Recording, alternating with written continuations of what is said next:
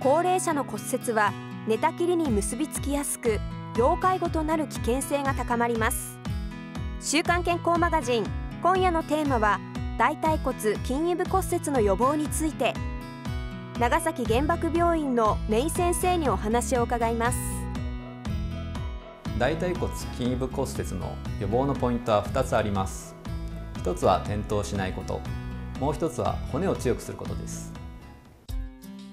大腿骨筋異部骨折とは太ももの骨の股関節に近い部位の骨折でその多くが高齢者による自宅内での転倒によって起こっています。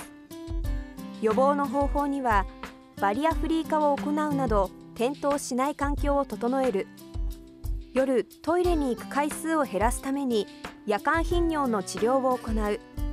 運動機能を維持するためのリハビリテーションなどが挙げられます。また高齢になるにつれ骨が折れやすくなる原因に骨粗しょう症が挙げられます。骨粗しょう症とは骨の密度が低下して骨が弱くなり骨折しやすくなる病気です。日本にはおよそ1000万人以上の患者がいると言われていて高齢化に伴ってその数は増加傾向にあります。骨粗しょう症の治療には食事や運動など生活習慣の改善に加えて薬物療法があります。骨粗しょう症の治療薬は骨の破壊を抑える薬骨の形成を促す薬骨の材料を補う薬の大きく3つに分けられます。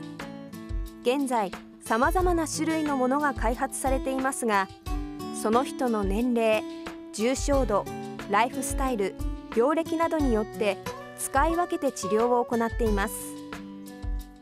また生活習慣の改善についてはカルシウムやビタミン D、K などの栄養を摂る。